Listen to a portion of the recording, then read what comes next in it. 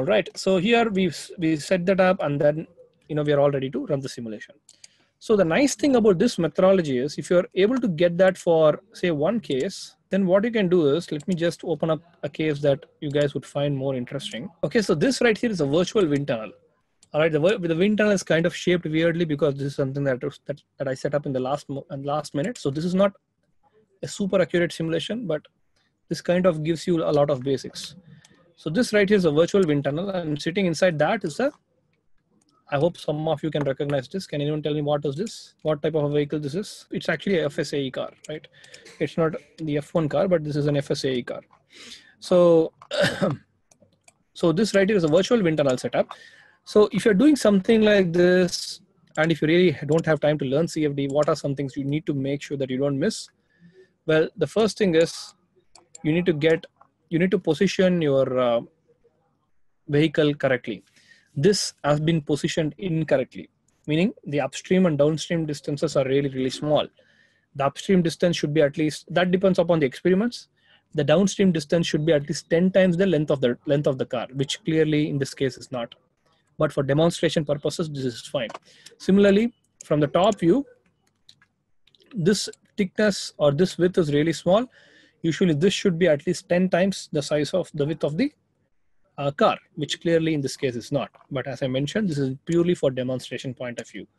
But then all the software setup, the simulation setup is pretty much the same, right? So in this case, I ran the simulation uh, and I ran it very coarse.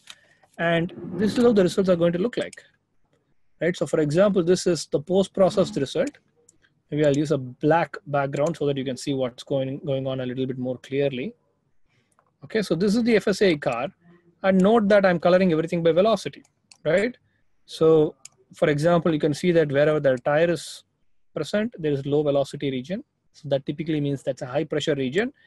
And consequently, if I color this, say F1 car with uh, pressure, that's going to take a little bit of time. And then what I can do is uh, maybe color this guy with uh, or just change the labels. It's not the labels but uh, the legends. Change the color a little bit. There we go. So now the car is colored by pressure all right? I'll i'll just hide the other things so that it doesn't cause a lot of confusion. So the wing for example is colored by the pressure. And this is a classic uh, picture that shows downforce. And if you see the bottom side of the wing that is colored by pressure as well so what you can learn from this particular image is the concept of downforce. You have higher pressure on top and lower pressure. This means visually or qualitatively, this result makes sense.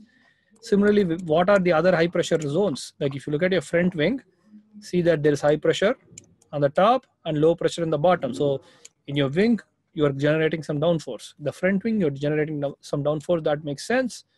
But in this case, since it's FSAE, the end plate configuration is not great, though there is some amount of deviation. So if I put this car uh, in the front view,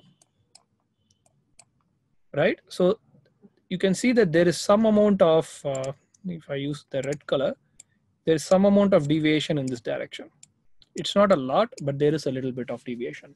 Ideally, if you try to kind of channel your airflow like this, then that can be very good for the uh, aerodynamic performance.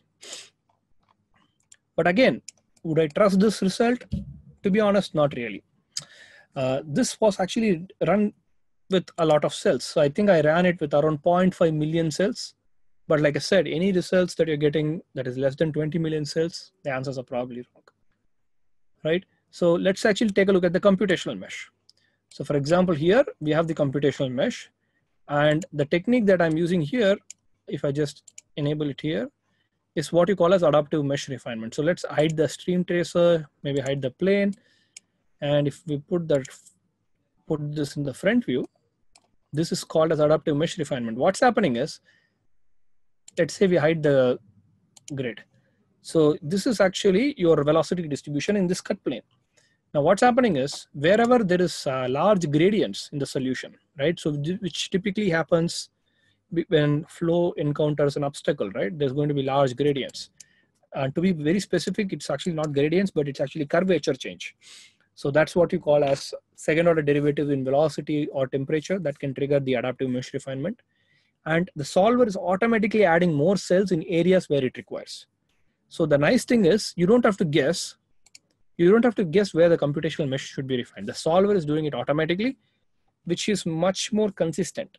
Because if you're doing it manually, you will definitely not be able to predict how big the wake is.